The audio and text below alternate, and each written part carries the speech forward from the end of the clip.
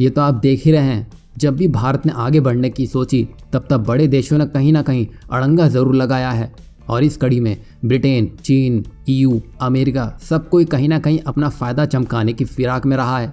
उन्हें पता है, अगर भारत उठ खड़ा हुआ तो उनका पत्ता ही साफ़ हो जाएगा।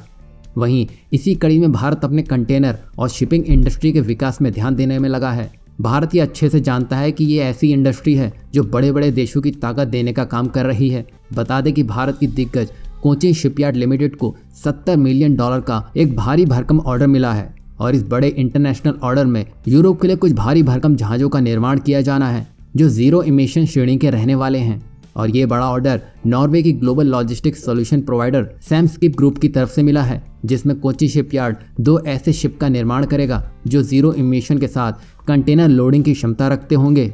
वहीं ये परियोजना ग्रीन हाइड्रोजन के साथ हाइड्रोजन फ्यूल सेल द्वारा संचालित दुनिया के पहले zero emission feeder container vessel में से एक हैं।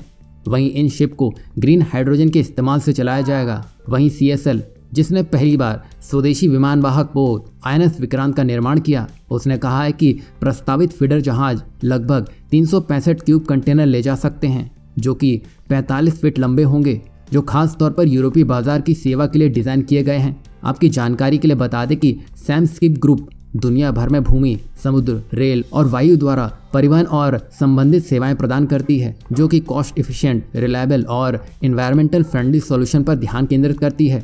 इससे आप समझ गए होंगे। यहाँ कंपनी का फोकस ज़ीरो मिशन है, जिसके लिए उसने भारत की सीएसएल यानी कोचिन शिपयार्ड लिमिटेड से संपर्क साधा है। वहीं दुनिया का जो शिप बिल्डिंग मार्केट है, वो 240 बिलियन डॉलर से भी ज़्यादा का है। इससे आप समझ गए होंगे कि ये इंडस्ट्री किस ओर जा रही है। आपको बता दें कि भारत की कोचिन शिपयार्ड लिमिटेड अंतर्राष्ट्रीय बाज़ार में अपनी उपस्थिति का विस्तार करने में लगी है, जिसने दुनिया भर के कई देशों में जहाजों की डिलीवरी भी की है।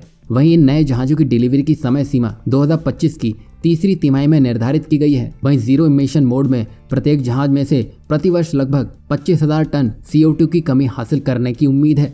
वहीं इक्कीसवीं सदी में ईंधन की खपत में तेज़ी से बढ़ोतरी देखी जा सकती है। इसी कड़ी में आईआईटी दिल्ली के वैज्ञानिकों ने बेहद कम लागत में हाइड्रोजन ईंधन को पानी से अलग करने की तकनीक खोज निकाली है। मतलब साफ़ है, भारत पहले हाइड्रोजन ईंधन को लेकर काफ़ी आगे निकल चुका है, जो भारत के आने वाले प्रोजेक्ट्स में बड़ी भूमिका निभाकर दे सकता है।